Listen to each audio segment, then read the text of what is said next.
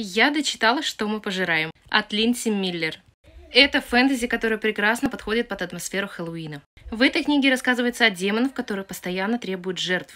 Также в этой книге есть осененные. Благо осененные грех осененные, которые обладают магией, но эта магия требует жертв. Физических или не физических. Но главная героиня у нас, конечно же, отличается от всех, потому что она двуосененная. И ее, так сказать, вербует принц. Да-да, тот самый черный ловелас этой книги и вместе они будут пытаться не дать этой двери с демонами открыться. Так что это довольно увлекательное, немного темное фэнтези.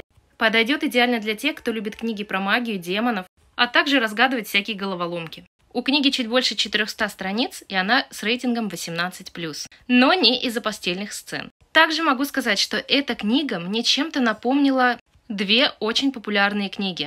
Это книга «Тень и кость» и «Змеи голубка». Здесь есть немножечко из одной книги, немножечко из другой книги. Так что определенно любителям и ценителям этих двух произведений, которые я сейчас озвучила, вам очень понравится и эта книга. Главные герои здесь довольно-таки интересные, сильные. Здесь есть как и красивый личностный рост героев.